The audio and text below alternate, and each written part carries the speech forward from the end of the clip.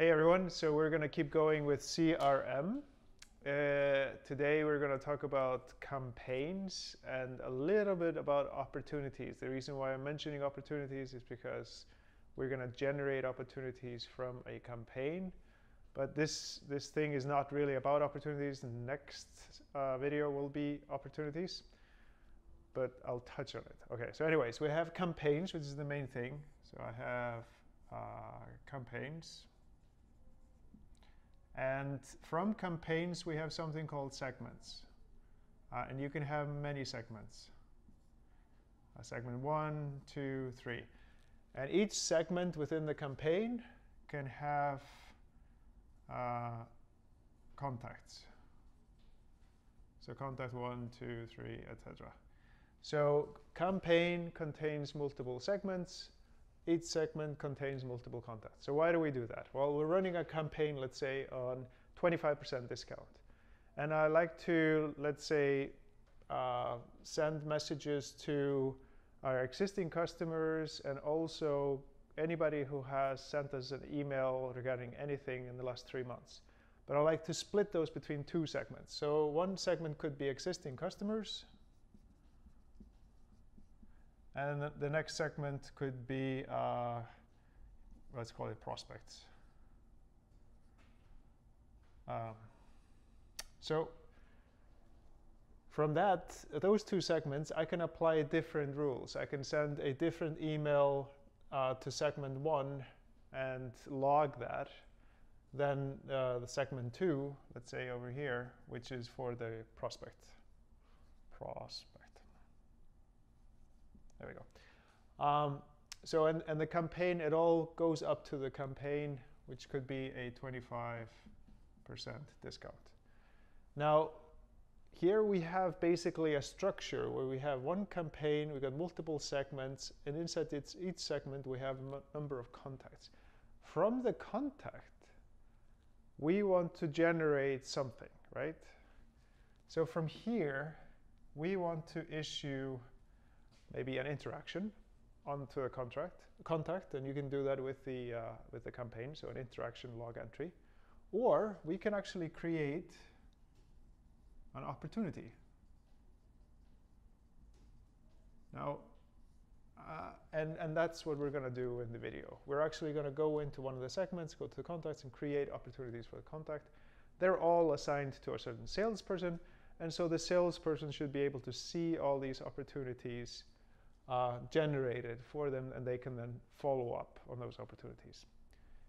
And I would have loved to see tasks here, create tasks. But we don't have that in Business Central. So that's a note for Microsoft uh, or anybody who wants to extend it. However, from the opportunities, we can sort of get into the tasks. And I'll show you that in the next video after this one. Well, let's take a look at the screen share.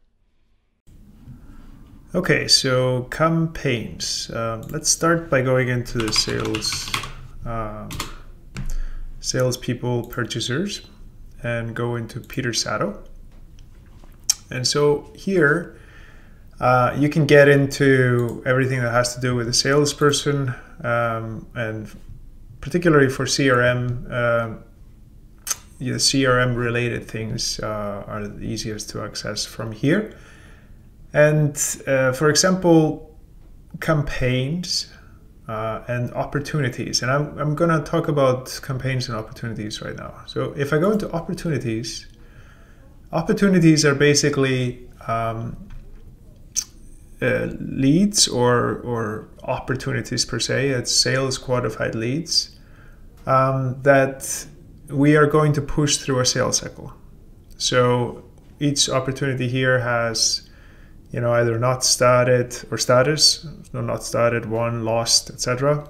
We can also see which sales cycle it is in. Uh, oddly enough, these demo ones don't have a current sales cycle, but we're going to get into that. And then you can see how much the uh, the value of it is, chance of success, etc. But it's basically uh, a sales uh, a opportunity that's going through a sales cycle. So without going too deep into that, I'm going to show you how we can create opportunities in masses through a campaign. So if I go into a process, I'm sorry, close this out and go into campaigns. And the reason why I like to explain this through the opportunities is because when you create a campaign, it has to have some kind of result. Uh, so we're going to create this campaign where we're going to give 25% discount on a few items. So I create a new campaign. 25% uh, off, uh, just say everything. And the status is in planning and we're starting today and it's going to run through the end of the month. And the salesperson in charge of this is Peter Saddow. And that's it. So we created this campaign and campaign, you can manage the whole campaign cycle. Like we're planning it and it's been approved, it's initiated, scheduled, start and done. I'm not going to go through these stages right now. Obviously that's kind of as you're pushing through it would be nice to be able to book cost towards this, and you sort of can uh, if you work with dimensions, because uh, campaigns are related to dimensions. Again, that's kind of a side topic, but uh, the main thing here for what I wanted to do is is get some contacts into this campaign, and then have those contact initiate opportunities. So I'm going to go and create a segment. So each campaign can have many segments. Uh, in this one, I'm just going to have one. And the segment is a container of contacts. So we can dump contacts into a segment. And here I'm just going to say all customers. Uh, it's going to be just one segment. Again, the salesperson is going to be Peter Saddow. And I can come in here and say add contacts. And so this is really cool. Here we can actually put a filter in for contacts and uh, and bring them in. And notice that I I don't just have like the standard information like the name, you know where they are, um, you know uh, profile answers, you know whether they're married, not married, uh, male, female, etc.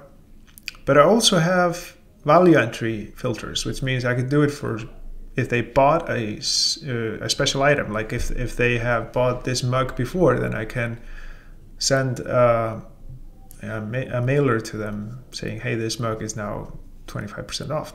But, anyways, what I wanted to do is just pick customers.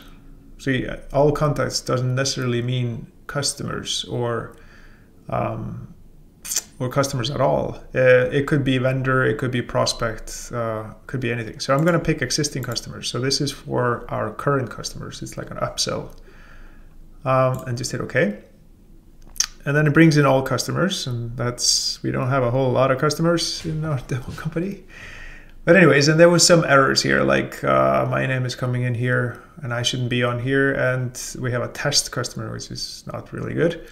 So I'm going to delete those out. And I can go in here and say delete uh, and delete. And one of the interesting thing here is that uh, there is a criteria. I'll do this slowly.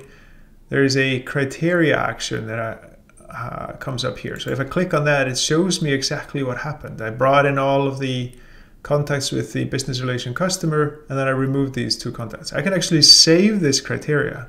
So if I have a standard criteria that I run, it can be saved. So for next segments, uh, I can just bring up the, uh, the saved criteria and get all those uh, contacts that are now qualifying that criteria into the segment.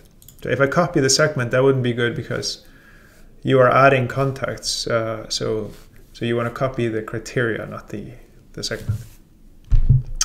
All right, so from here, I can go ahead and do a lot of functions. I mean, we can make a phone call, uh, we can attach uh, something to it. Uh, I can actually get an interaction template here.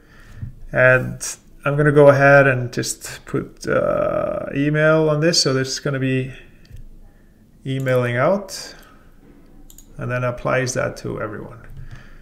Um, now there is a whole feature on you can import an attachment and you can open up in the email and stuff like that. it gets a little clunky uh, and depends on what system you're using. Um, if you're mass mailing out of the system, chances are you're not going to mass mail out of Business Central. You have to use some kind of a mass mailer so you don't get blacklisted and uh, all kinds of things like that. So, for example, you can go ahead and export. Uh, let me see. I think that's somewhere over here. You can get um, exported into Excel right here, etc. So you can just get it into Excel and and then take it into a mass mailer and then log the segment saying that you mailed everybody out. But what I really want to do is create opportunities for Peter Saddow. So I'm going to do that. I can go here into actions, functions. Um, let me see, where is this? Um, here, navigate, okay. I don't know why it would be navigate. navigate segment, create opportunity or create opportunities. And I'm going to go ahead and create opportunities. And I'll just go ahead and do that.